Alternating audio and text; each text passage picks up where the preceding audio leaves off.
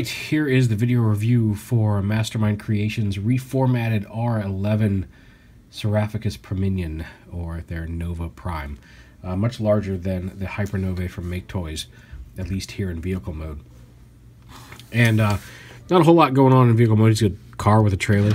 It rolls, it all hooks together and rolls okay. Uh, you can you can spin, you can get more motion out of this. You can have them turn the cab at various angles. It does the the kneecap joints back here do tend to get a little caught on the uh, the edges of the trailer, but um, it is possible. Oh, I didn't have them plugged in. It's, it's possible without too much difficulty. Just lift it up a little bit, and you can get them in a curved pose, if you wish. It does come sold separately in two sets.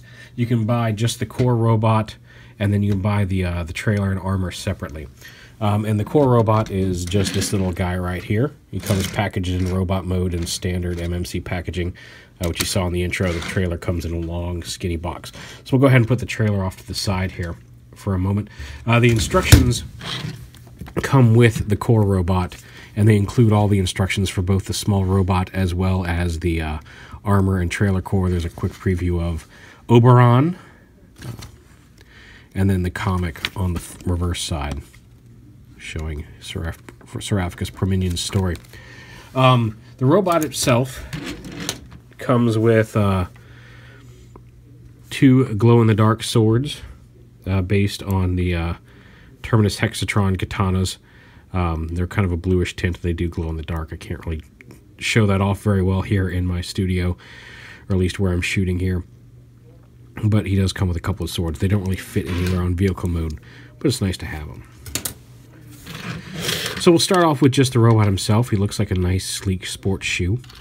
Um, and, uh, yeah, there's that. And you can see. There's the underside of him. Just a sleek little, little Cybertronian vehicle mode. We start off here. You want to get these untabbed and this whole center assembly comes up on this hinge here. All right, so interruptions aside, lift this up, get this whole assembly kind of up and out of here like this. The arms you untuck from behind this little flap down here.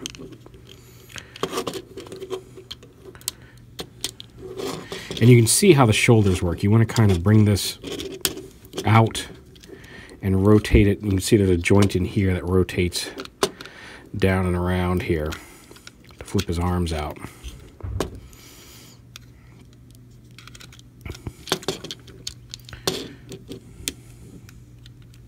Oh, yeah, that, that little post right there is starting to crack. Somebody had this little post crack. And, and the thing is, like, I think that little post is just kind of supposed to sit in here to help hold this in place. And the arms stay in place pretty well. So if that does crack, it's not the end of the world, but that is a little concerning there that that's uh, stressed.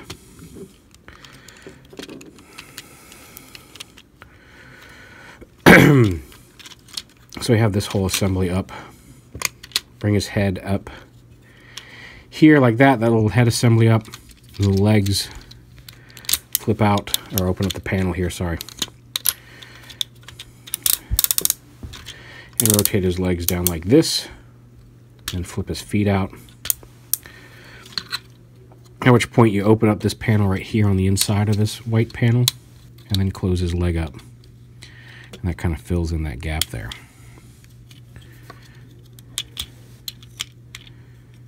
And then lock that back in place, flip that gap out, or that panel out. And then this whole, all this comes around you can rotate his shoulders into more of a forward position here. Yeah, whatever. When his chest comes down and tabs in, you want to get, again, behind these blue panels. Get the chest down to lock in like that. And here, now you can bring the arms, rotate them around on this hinge. I guess maybe they do sit back. I don't know. Wherever you feel like the shoulder should sit. Bring them back. Rotate the, uh, the bicep swivel in. and then rotate the fist just like that. That's how the arm should look.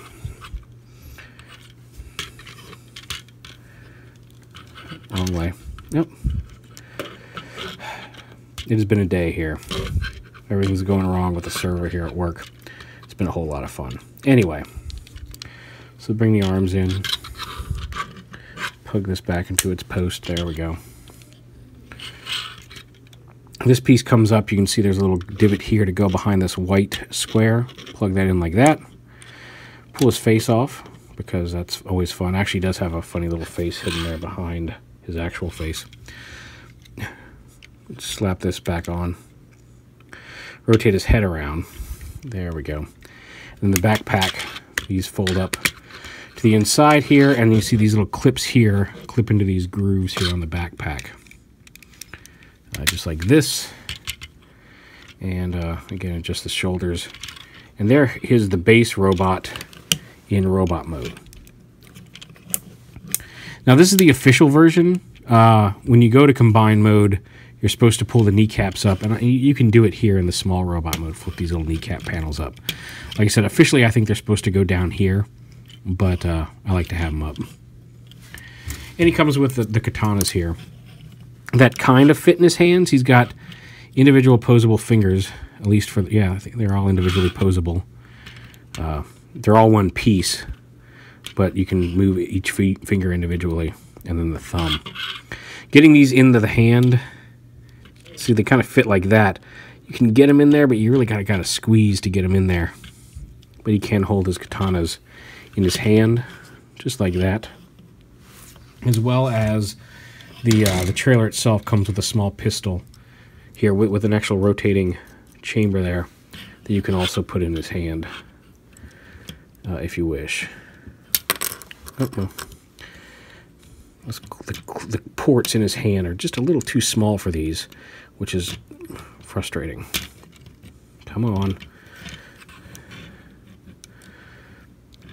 He holds them very tight, but they do like to pop out. So there's the base base robot by itself, and you can take the swords and you can kind of slide them down through here uh, to store in his backpack if you want. There's little slots here. I thought that was a slot for that. Oh, it's because I've got it facing the wrong way. With the blade facing in, it actually has a specialty slot to store the swords on his back. Posability, like I said, he's got this extendable neck here. Uh, pose, he's got ball joint shoulders, bicep swivel, uh, the shoulder armor can move, uh, dual hinged elbows. He's got a uh, forearm swivel, a wrist swivel, and then the wrist is on the ball joint there. You can see she can get him in a little bent pose as well. Individual fingers and thumb. He does have a waist swivel, uh, ratcheting hips in both front and back direction, ratcheting double jointed knees. They're jointed up here and then down in the boot itself. And the feet can rotate forward and back and side to side. So yeah, the core robot, if you can't afford the, the, uh,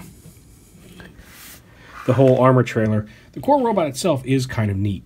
Um, I, I, I, dig his robot mode. His car mode's a little lackluster without the trailer, but uh, his robot mode's actually pretty cool.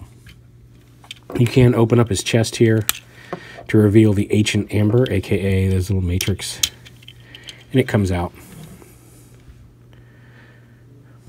It has like a closed and open look to it, and it just pegs back in there, just like that. Now the fun part. So we'll go ahead and take these out of his hands. And we'll go to the trailer itself here which opens up into an armored gantry. Um, first off, there's a giant sword up here, and if you ordered from Planet Steel Express, you also got a clear, like an orange sword as well. Uh, this one just came with this one. So yeah, you've got a master sword here with the matrix and the hilt.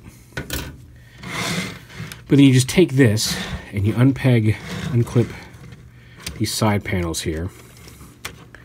Open it up, on it slots in here, here, and then pegs here and here. So you kind of open this up and grab this upper half of the front piece here. And this whole assembly lifts up, comes back around, And down here, yep, brought one of the foot panels with me. Put this back on here. So you bring this down and around. This piece flips up. This piece flips forward. And then this piece slides in here. You may have to adjust the upper hinges here.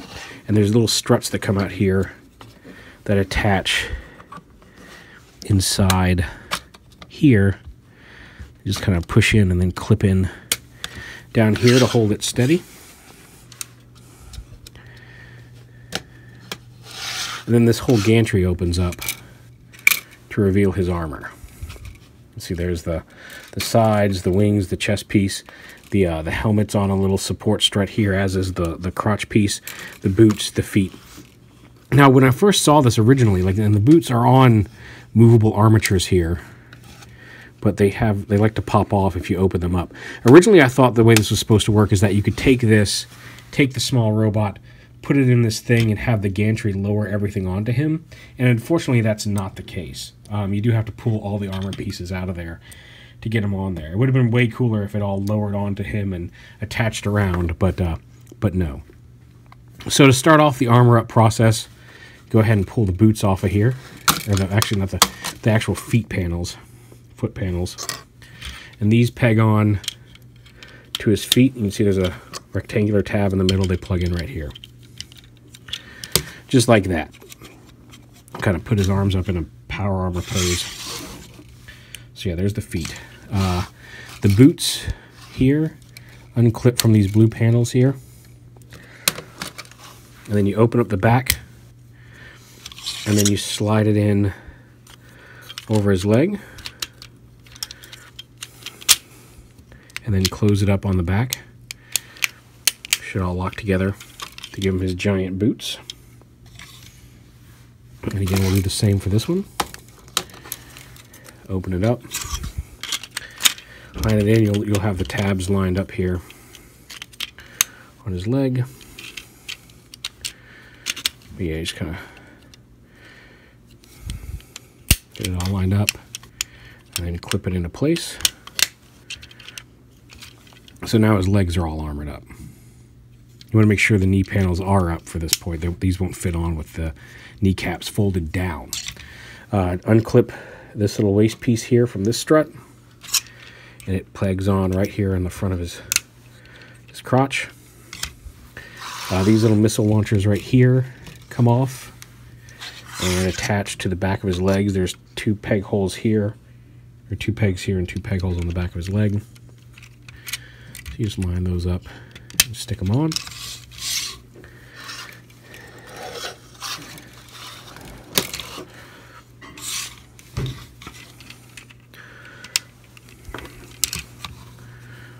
all right arm panels uh, these just clip on right over his smaller fists just like that. See, there's a peg, blue peg right here that pegs into his arm here.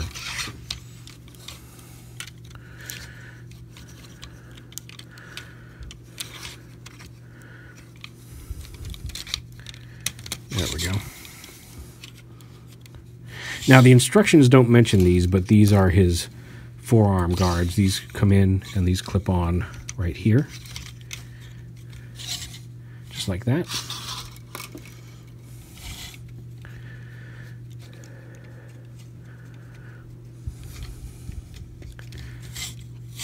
These shoulder panels up here come off.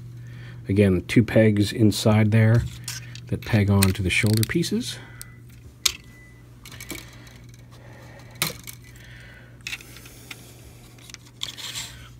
And then, once that's done, you open up these side hinges here on this lift this panel up. This whole assembly unpegs from the back here. You might want to help push the helmet up a little bit more. Um, you see, there's four peg. There's four pegs here, and the peg holes on the back. And then this whole assembly comes down over his head and under his arms, over the backpack. And then you close this down over his chest Um, it's not sitting down all the way. Why is that not happening? And then you bring the hinges around and clip it together. It should clip down. There we go. Clip it all the way down and then clip these under panels back on. And once that's done, take the helmet off, slide it over his head. You want to pull his head up as far as it can go on this little joint so you can see it so it's not hidden. And then put the mask over his head. Come on. There we go, like that. And there he is, all armored up. It's still looking like his head is not visible, but it is.